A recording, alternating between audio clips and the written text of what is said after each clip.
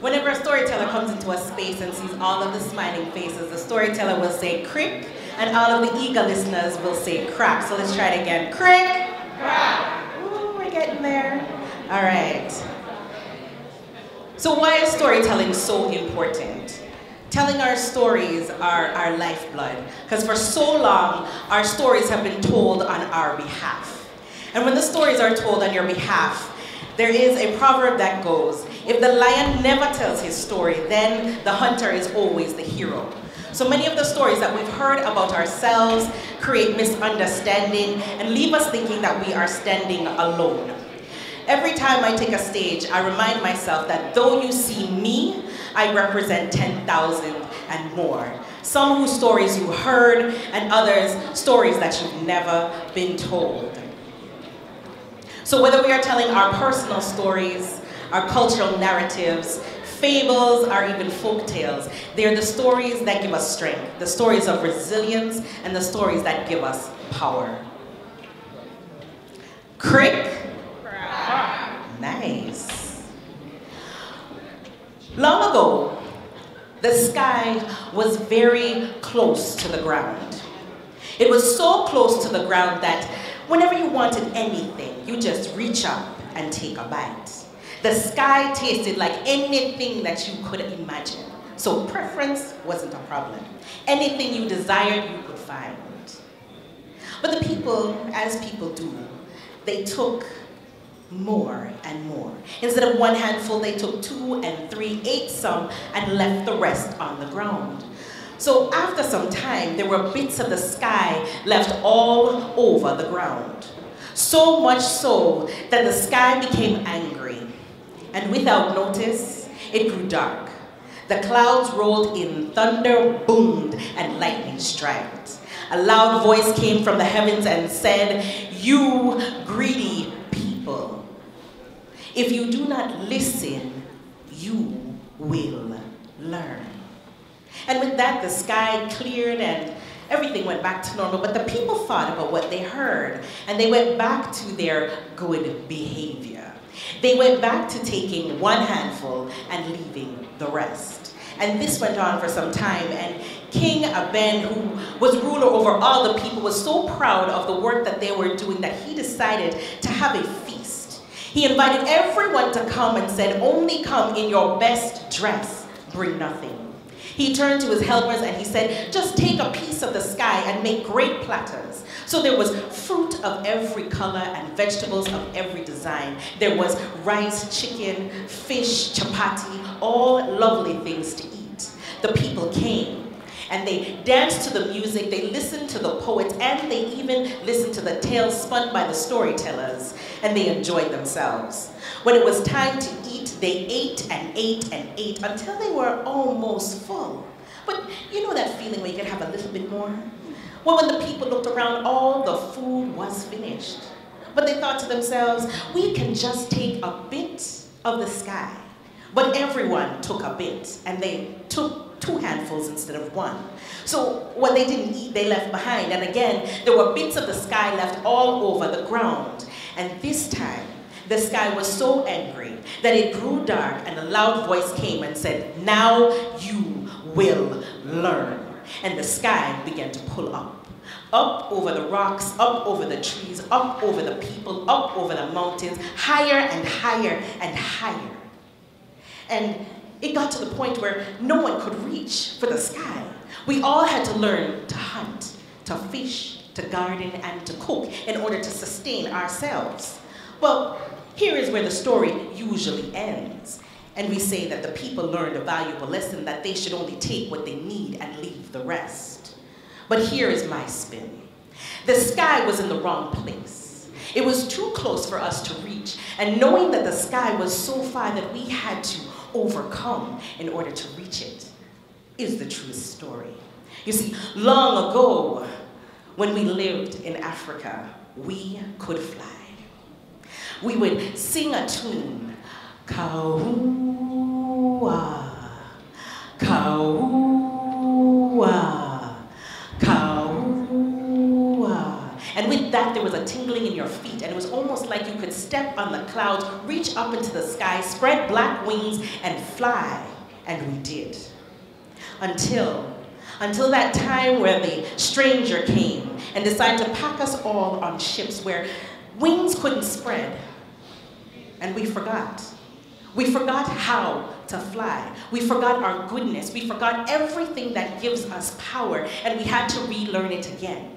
And that brings us to the story of Isla. Isla and her child working in the field where she tried to quiet a child that just couldn't be quieted. It was a time the child needed to fly but couldn't. And hanging on made it hurt, and so she cried. And Isla tried her best to cool and cool that baby, but couldn't. Slave master cried out and said, You shut that child. But she could not. So she looked to her left. And when she looked to her left, she saw Jacob, who was all knowing. He knew of everyone's past, he knew of Africa, and he told everyone there so. But when they heard the sound, Kaua, she looked at Jacob, and he shook his head no. The next day came, and again the child cried, wanting to be free, but stuck in this cradle while mother worked.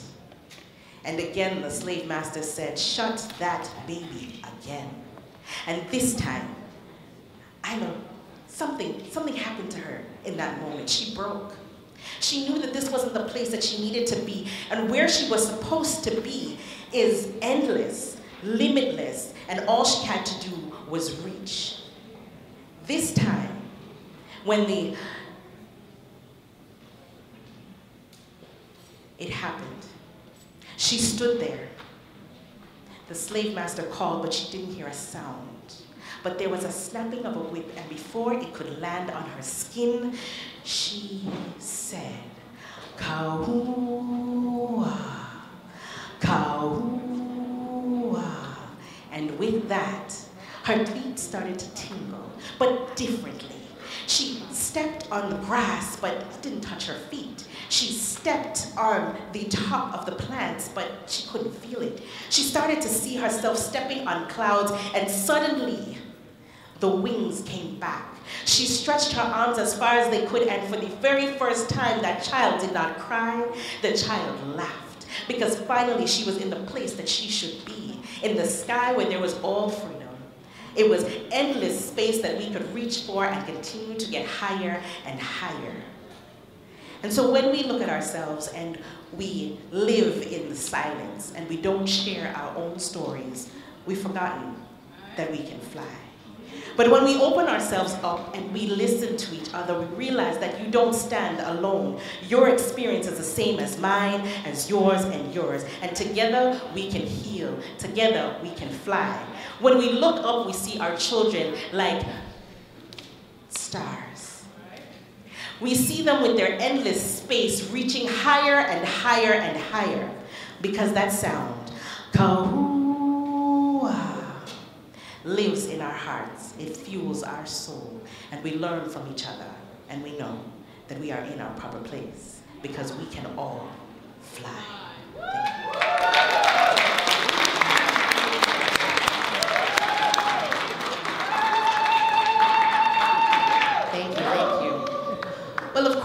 Love to come into spaces and give an Anansi story. Why? Because he's such an interesting character.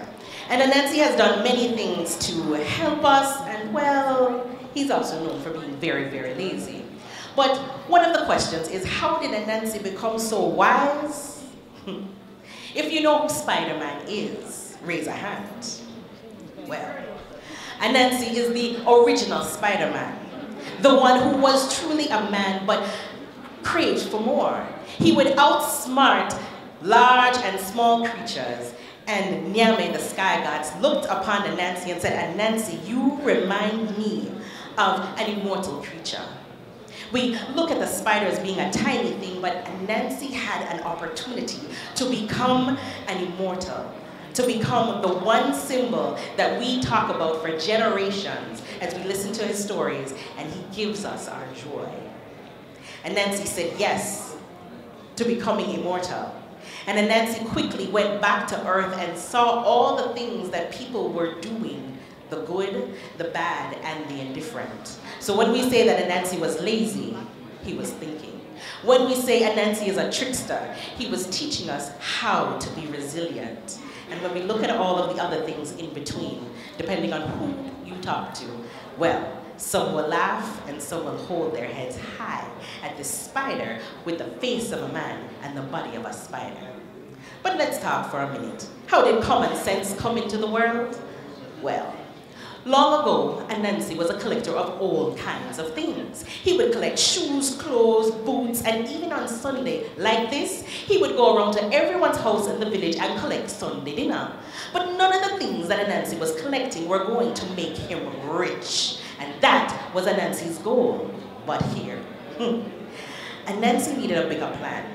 When he saw his neighbor asking the postman for a bit of advice, Anansi knew that if he had all the common sense in the world, then he too could sell it because he would be its only source. Well, Anansi went out with a plastic bag and started to collect common sense from all places. And like plastic bags normally work, it got a little hole that became a big one.